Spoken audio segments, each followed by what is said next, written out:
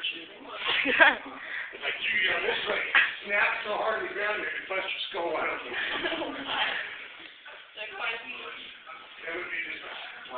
Maybe it put Steven back into Smarticle mind. Put camera in. Love you, Uncle Aron. See, now it's going. Haha, now it's going.